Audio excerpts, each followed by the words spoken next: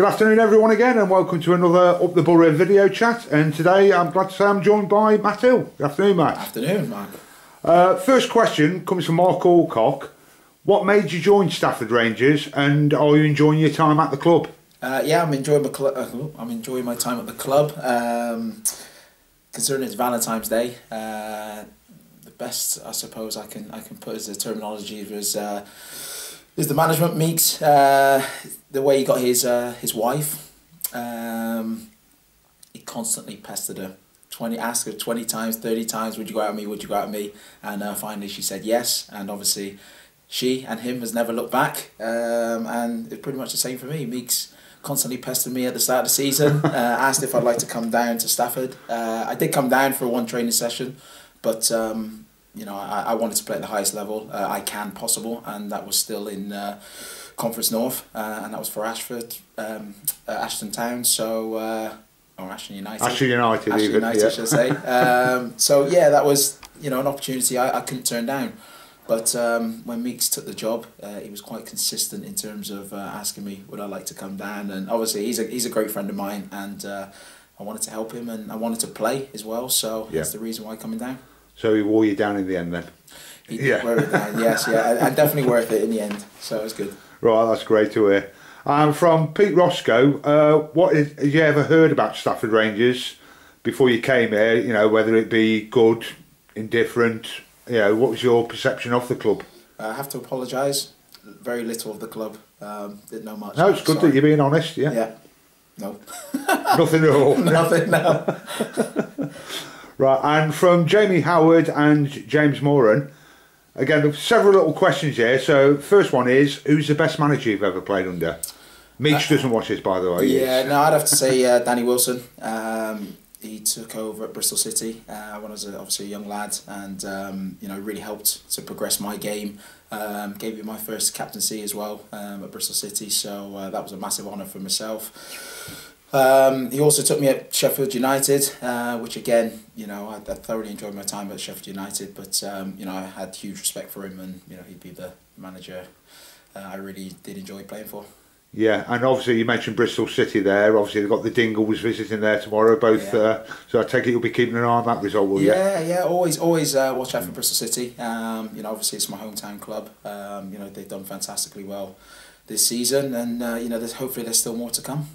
Yeah, tough, tough one from tomorrow though, isn't it, against Wolves? Yes, it's, yes, uh, but yeah, yeah, like yeah. I say, I think they're nine unbeaten, so they're going well at the moment. Yeah, well, I think both clubs. You know, Wolves are, as- uh, you know, another team that I that I watch. Surprised for a Um, few people this season, I think. Surprised, maybe not because of the way they play. Um, I think they've been fantastic. Um, you know, I've got a good friend, the captain there, Conor Coady, who I played with at, at Sheffield United. Um, so again, you know, he's done unbelievably well, and long may that continue. Yeah. And who's the best player you just said you played alongside?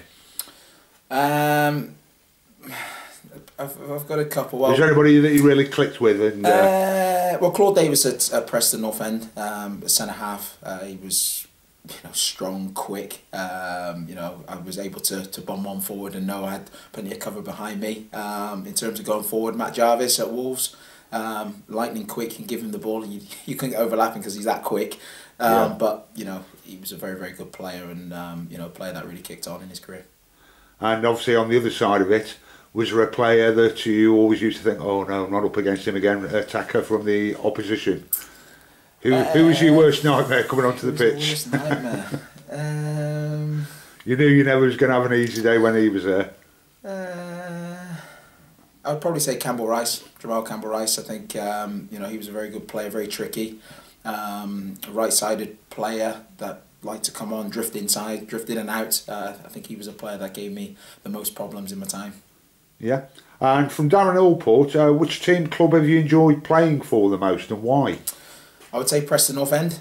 Uh, it was my first move uh, from Bristol to Preston. Um, so again, it was it was a massive deal for myself. Um, had some well two and a half, maybe three years, you know, of, of good football. Played really well. Um, close to getting promoted um, into the Premiership, but uh, it wasn't to be. But um, no, I, I you know I thoroughly enjoyed myself. I felt I was playing the best football I could possibly play at North End. Yeah. And like you say, originally from down the Bristol way, how did, how did you find it over the years moving from, like say, moving from Bristol up to Preston was obviously quite a leap and... Uh, yeah, yeah, it was, um, yeah, like I said, it was a, it was a big move. Um, I had only had my, well, my son, James, who was two, maybe three. So for me and my partner, it was a, it was a big thing moving away from Bristol because it seemed a million miles away, uh, and it was just us. So um, we we haven't moved since. You know, Preston is home now. Uh, we've got two more kids, so three in total, and um, you know, Preston's home now. Yeah, and from Ben Alcock, like say with all the previous clubs and that you've had, how do you actually find it playing down in the non-league? Very competitive. Um, I think the football's good. Um, you know, I don't think it's too much different from League One and Two potentially. I think uh, yes, the players that are are fitter than the players in non-league, but that's to be expected considering they train every day. There's a lot more sort of strength and conditioning that goes on, and you know you have to be an athlete these days to to reach the top level. Yeah, and I know you just touched on a moment at Preston there, but from Nick Barron's little lad Albert. Uh, what's the best trophy that you've ever won? Right, so you came close to winning. Best uh... trophy, yeah. Um, so the trophies I have won was the LDV. Um, so that was that was uh, a great moment at Bristol City from a home club um, to be involved with Wolverhampton Wanderers to to win the championship. Uh, so that's obviously got to be be up there, I suppose, as the the best feeling. Um, but personally. I won uh, two Player of the Years, so one for Bristol City, one for Preston, and I think um, you know for that, on a personal front, was massive for me. I take it they've got pride of place at home, have they? Yes, they have indeed. Yes, yeah, yeah, yeah. You're a little trophy cabinet there. Yes, and, uh, yeah, yeah. And from Mark Bennett, what's the best derby game that you've played in? You must have played a few derbies over the time. Yeah, I'd still have to go with uh, Bristol City, Bristol Rovers. Yeah. Um, because, like you say, it's my hometown. It's friendly it's, affair. It's a, yeah, exactly. um, and yeah, it was just massive for the for the town. And Bristol is a is a huge place, so um, you know it was it was a big rivalry, and I was glad to say won more than we lost.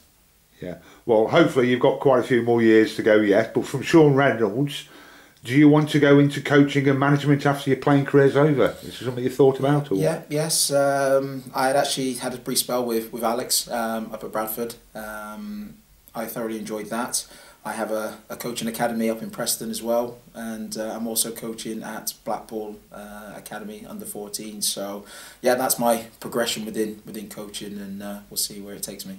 Yep. So hoping to take uh, your badges soon then.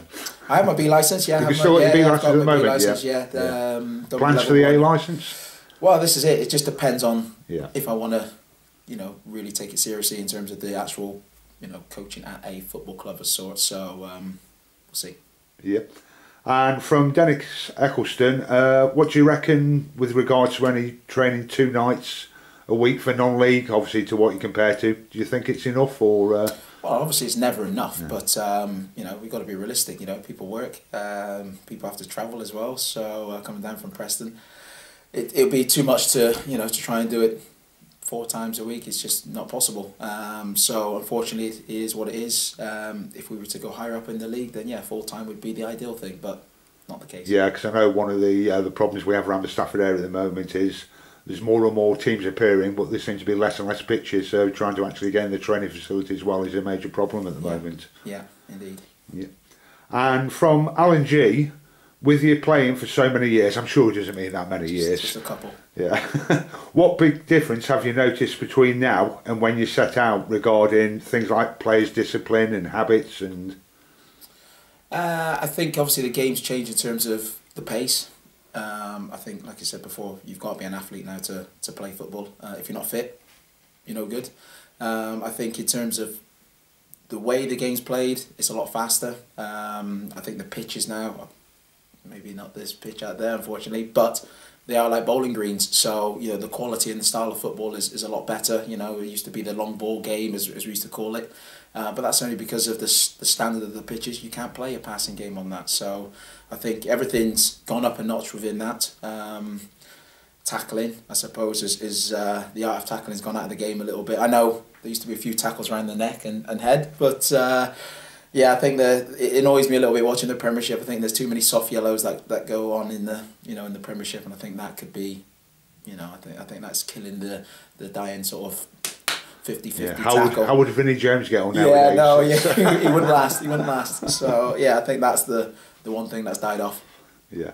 And from Kevin Dixon, uh, having been around so many dressing rooms throughout your career, does the current prospects and run of indifferent results that we've had here make you feel like leaving the club to, for another team, or is it just one of the things? No, we've just got to get on with it. And uh, well, I've come into the side and uh, we only lost one game, so yeah. uh, no, the atmosphere is fantastic. Um, considering where we are in the league, you wouldn't think that we were a team that's around the bottom. So uh, that's credit to the boys. I think that's credit to the coaching staff as well, because like you say, we come in, we're all lively, we're all bubbly. We're looking forward to today's game, and um, you know we believe that we'll be we'll be safe and we'll be fine. Yeah, well, that's one thing I've certainly noticed, especially at uh, the training sessions and around the dressing room. The, the spirit in there seems to be really buoyant, and uh, yeah, the results may not reflect it sometimes, but it, there does seem to be a togetherness in there. Yeah, I think that shows belief. I think um, you know we do believe that we can we can turn it around. Um, obviously, we've added to the, the squad, and hopefully, like you said, with with my presence and things like that as well, can uh, can only help to uh, to stay up.